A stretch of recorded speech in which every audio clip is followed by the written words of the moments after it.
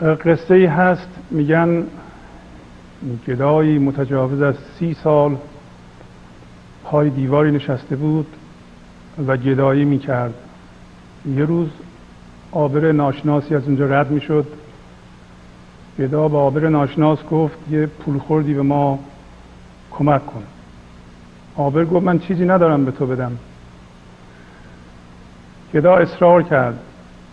آبر گفت گفتم که من چیزی ندارم به تو بدم ولی این چیزی که روش نشستی چیه؟ گدا گفت این صندوقی است که من تا اونجا که یادم میاد روش نشستم. آبر گفت حالا توش نگاه کردی؟ گدا گفت نه. برای چی؟ منظورت چیه؟ من توش چیه؟ گفت خب توش رو یه بار نگاه کن. گدا با اصرار آبر و با زحمت زیاد در صندوق باز کرد و با شگفتی تمام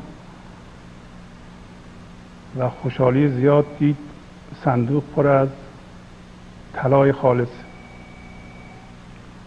گدا سالها روی صندوق پر از طلای خالص نشسته بود ولی نمی‌دید و دست گدایی به سوی این اون دراز می‌کرد.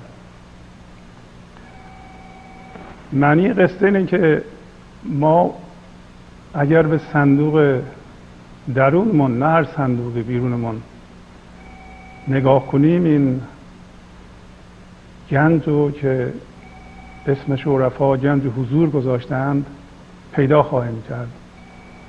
و یه معنی دیگه قصه اینه که تا زمانی که ما این گنج درون رو پیدا نکردیم